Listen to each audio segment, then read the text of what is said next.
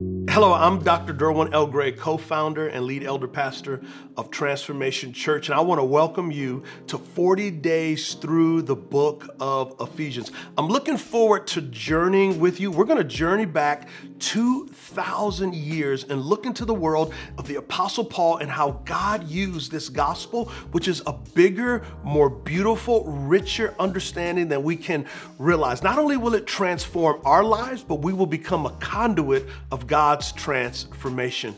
You ready? Let's go. The Apostle Paul visited Ephesus in his second missionary journey.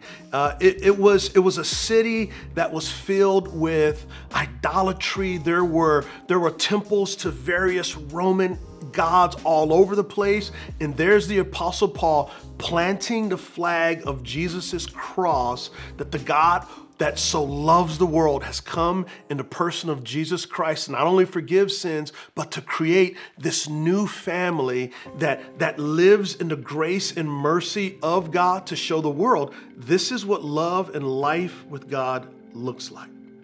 So, Paul is writing to the churches in Ephesus from a prison cell in Rome, the Apostle Paul uh, was there and helped build these brand new upstart multi ethnic churches.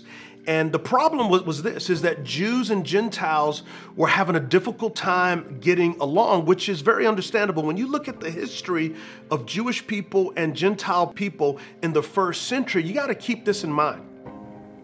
For Jewish people, they viewed Gentiles from this historical perspective. For 400 years, they were slaves in Egypt through Gentiles. And then the Canaanites, Hittites, and Jebusites, and Perizzites, and probably Anstedbite, they were Gentiles. They tried to destroy the Jewish people. And then when the Jewish people did get to the promised land because of their disobedience, another Gentile power, the Babylonians, carried them into captivity. And then now in the promised land and throughout the Greco Roman world, the Roman power structure suppressed and oppressed the Jewish people. And so, therefore, the tensions were already heightened, and resurrection power was required for Jews to love those who had mistreated them so badly, but also for Gentiles. Gentiles knew that a Jewish attitude, for the most part, towards them was you're immoral, you're unclean, therefore we can't even be around you. And so, what the gospel did is it broke down these demonic powers and began to build them up into the people of God that loved each other for the glory of God. In AD 58, the Apostle Paul was under Roman imprisonment. Uh, but, but what was he doing? One of the things that he was doing is he was penning a letter uh, scholars call it a circular letter because it was written to various churches in what we know as Ephesus or modern day Turkey. And he was writing specifically to these young, impressionable Jesus communities called ecclesias or churches. And, and what was unique about these churches, which was unparalleled in the first century, Second Temple Jewish world, that was occupied by Greco-Roman supremacy was this, is that these, these young churches were multi-ethnic. They were transcultural. They were social economically diverse. They, they, they had Jews in them and they had Gentiles. And by the way, a Gentile is everybody else except for Jews. Now, they would have known that the Apostle Paul had this thing about getting in trouble. And so they would have figured that he probably was in prison because we know from Acts chapter 21, 28, and 29 that he had been arrested for bringing a goyim, a Gentile, into the Jewish temple. Uh, the Apostle Paul could not help himself. He was, he was always getting in trouble. Why? Well, we get to understand the why when we peer into the heart of God manifested through the Apostle Paul and his ministry and the writing of this incredible, beautiful book. So, in the first century, in Paul's world, it was even more racially divided than our 21st century. Uh, let's never forget that, that racism misses the mark, God's mark, God's goal. The word sin means to miss the mark. God's goal is for humanity to love each other as expressed through the person of Jesus Christ. It is a, it is a sacrificial love, it is a giving love, it is an affirming love, it is an inclusive love. It's a love that looks like the cross, it's a love that looks like the empty tomb. And so the Apostle Paul, in this racially divided world, gave his life for this revolutionary idea that the precious blood of Jesus not only forgives sins, but creates a family with different colored skins. And his family is a family of oneness. Well, let me give you an illustration. So, um, as you can tell from my physique, I don't eat a lot of salads, but I do from time to time. So I want to give you an illustration that oftentimes we, as human beings, we kind of like to hang out with people who are like us. And so uh, we kind of got lettuce churches, you know, where lettuce likes to hang out. And then you got pepper churches where pepper likes to hang out. And you have onion churches, and, you know, and then you got bacon bit churches. Those are definitely Gentile churches. And then you got tomato churches. And then you got corn churches. Now, all of these ingredients are pretty good, but if you start doing this, get a little bit of lettuce. Hold on, let me get a little bit of lettuce, a little bit more lettuce, and you put some lettuce in, and then you get some of these colorful uh, uh, uh, peppers. Oh my gosh, and the onions. You can't Mm, praise the Lord for some good onions. They strong too. You put the onions in there. You need some strong personalities, and then you need some some tomatoes. Let's just skyhook those in there like Kareem Abdul-Jabbar. Put those in there, and you got to get some corn. Yep, yep, corn is good for you. Put that in there, and my goodness, you cannot forget about some bacon, right? You just gotta just put it on there, and before you know it, you go, oh my gosh, and then you you got to get some dressing because what dressing does is is it puts all the flavors and it makes all the flavors come out. And so lettuce by itself is good, corn by itself is good, onions by itself is good. Tomatoes by itself is good, but when you put it all together and you mix it up, you you have this salad. Well, what God wants to do is He wants to create this, this salad bowl family where all the flavors and all the textures in Christ have been redeemed. And this is what happens this is what was happening in Paul's day, and this is what happens in our day, is that when we stay isolated with just the sameness, we stay in stuckness. And just like a multifaceted diamond, every time you shape it, you get a different glimpse of its beauty. Well, Jesus' church, when you bring all of God's people together in Christ, it's our differences that makes us different for the better. So Paul, in the book of Ephesians, is reminding Jews and Gentiles, he's reminding you and me, regardless of what your ethnicity is, that we have been reconciled vertically to God. The word reconciliation means this that, that we were divorced and now we're remarried. It means we were separated, but now we're together. Jews and Gentiles have been reconciled vertically to God and horizontally to each other through the redemptive work of King Jesus. That we are now the people in Ephesus, the Jews and Gentiles, and us in Christ now, that they are now the single multi ethnic family that God promised Abraham. Uh, friends, this is, this is massive. In Genesis 11, God's family scatters. In Genesis 12, God tells Abraham, through you, I'm going to give you a family, and it's going to be like all the stars. It's going to be this big old family made up of all the families or ethnic groups on earth. As a matter of fact, Ephesians 3 4 says this. By reading this, you're able to understand my insight into the mystery of Christ. What is the mystery of Christ? This was not made known to the people in other generations as it is now revealed to his holy apostles and prophets by the Spirit. The Gentiles are co heirs, members of the same body. Now, watch this partners in the promise in Christ Jesus through the gospel. What's the promise? The promise is this God told Abraham, I'm going to give you a family, and this is the family that God has always wanted. You see, the cross is bigger than just individual forgiveness. As great as that is, God is saying, I'm getting my family back. God is a promise keeper, He's a covenant fulfiller. That when Jesus came, He was God's guarantee that He's going to fulfill His promise. Think about, about this. Because you're in Christ, regardless of your ethnicity, not only are you forgiven and reconciled, you are the very promise that God promised Abraham.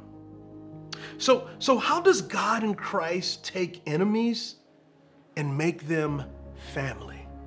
How does he do it? Well, because God creates this new multi ethnic family, we are blessed. Check this out. So, the Father chose us from above. Let's look at Ephesians chapter 1, verses 1 through 6. Blessed is the God and Father of our Lord Jesus Christ, who's blessed us with every spiritual blessing in the heavens in Christ. If you're in Christ, you are blessed in Christ. Well, what is the blessing? Paul tells us, I'm so glad you asked. He says this For he chose us in him before the foundation of the world to be what? Holy and blameless in love before him. Let's pause here.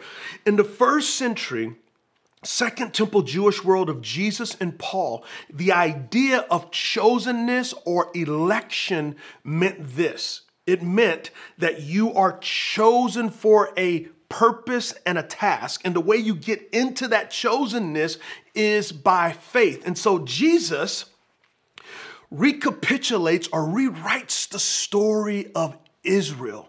And so, like Luke 9 35 says that Jesus is the chosen one or elect one. Before the foundations of the world, God the Father, the Holy Spirit, Jesus Himself chose that the humanity of Jesus would be the person that is set apart and chosen to redeem the world and give God His family. And so, through faith in Christ, we become a part of His chosenness. And watch this now what's true of Jesus is now true of you. Everything that's true of Jesus is now true of you. I know it's not fair. We don't want fair. That's why it's called grace. And grace creates this new race that is blessed in Christ. The Father chose us to be what? Holy and blameless. Holy means to be set apart. We, we belong to Him now. His agenda is ours. His redemptive purpose is ours. His life is ours. And the word blameless means this Jesus has eradicated and erased all of our sin. We are blameless because of the blood of Christ. And he does this in love before him. The motivation is love. Our Abba loves us. He predestined us to be adopted as sons and daughters through Jesus Christ for himself. God has adopted us through Christ according to the good pleasure of his will. Now, watch this to the praise of his glorious grace that he lavished on us in the beloved one.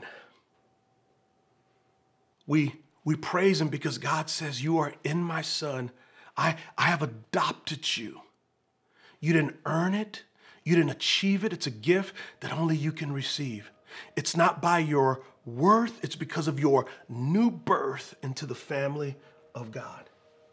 How does God do this? How does He make enemies into family? It's because the Son redeems us with His blood. Ephesians 1 7 through 10 says this In Him, there's a beautiful word. In Him, we're in Christ. In Him, we have redemption through His blood. The word redemption means to buy back, to set free. It comes out of the Exodus, it comes out of the Exodus story the story where God sets Israel free because of the blood on the door. Well, the blood is no longer on a door, the blood is on you, and Jesus has redeemed you. Jesus has set you free from what? Sin and death and evil. He has set you free from those things for becoming a part of his new transcultural, multi ethnic family the forgiveness of our trespasses. Watch this according to the riches of his grace.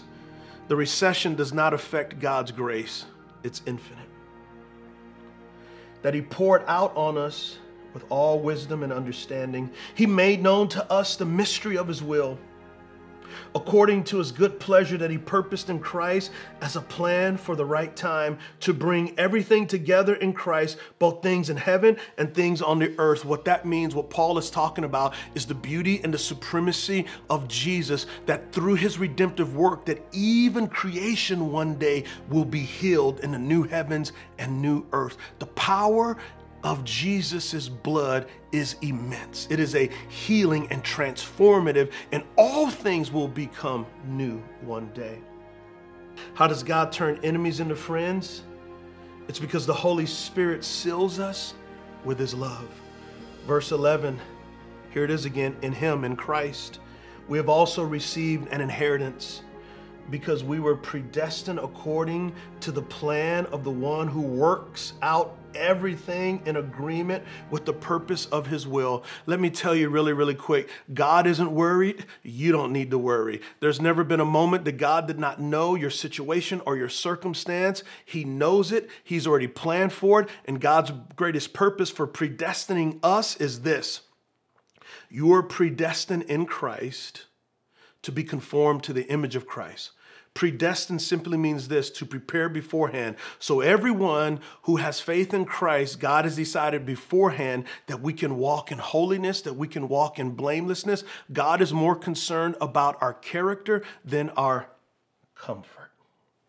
Verse 12 so that we who are already put our hope in Christ might bring praise to his glory. You see, our hope is in Christ and we bring praise to his glory. Let's look at Ephesians 1, verses 13 and 14. Here it is again. In him, you also were sealed with the promise of the Holy Spirit when you heard the word of truth, the gospel of your salvation, and when you believed. The Holy Spirit is the down payment of our inheritance until redemption of the possession to the praise of his glory. So, this is us outside of Christ. Jesus is the elect one. And when we exercise faith in Christ, we are now in Him. And so, what does God the Father see? What do you and I see? We, we see Jesus. Why? Because we're in Him. And then the Holy Spirit seals us for all eternity in Christ. Everything that's true about Jesus is true about us. And it's not just so that our little lives can get better, it's so that we can be the transcultural, multi ethnic family of God that has been predestined to walk in holiness and blamelessness and love. God brings us into his family so that we can image forth family characteristics. And what are those family characteristics? Praise of his glorious grace and also resurrection power. How does God bring enemies into friends? What Paul is telling the young multi ethnic churches of Ephesus who are dealing with all types of racism and then your own personal sin and all types of oppression and, and a crazy, chaotic world just like us, he's saying, keep your eyes on the cross. In the midst of the chaos, look at the cross. In the midst of the fog, look at the cross. In the midst of uncertainty, know for certain that he walked up out of that tomb Never forget this. Jesus borrowed Joseph of Arimathea's tomb because he wasn't on plan, he was not planning on staying there. Three days and he was out. Why did he come out? So he can come into your life. Check this out. Ephesians 1 15 through 23. This is why, since I heard about your faith in the Lord Jesus and your love for all the saints. Saints means holy ones. God's people are called holy ones because we are in Christ. Christ is holy. He's set apart for God's purposes. So are we. Christ has no sin. We're seen as though we have no sin. That's why Paul says we are blameless. I know it's not fair. That's why it's called grace. We don't want fair. We want grace. And he makes this new race. Verse 16 I never stop giving thanks for you as I remember you in my prayers. I pray that the God of our Lord Jesus Christ, the glorious Father, would give you the spirit of wisdom and revelation and the knowledge of Him. Verse 18 I pray that the eyes of your heart may be enlightened so that you may know what is the hope of his calling, what is the wealth of his glorious inheritance in the saints?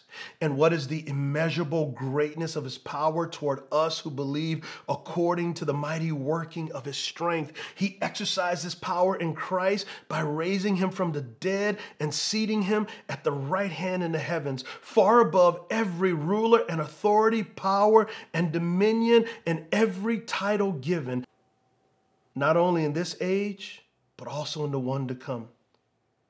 And he subjected everything under his feet and appointed him as head over everything for the church, which is his body, the fullness of the one who fills all things in every way. So the Jesus who rose from the dead lives in Jews and Gentiles.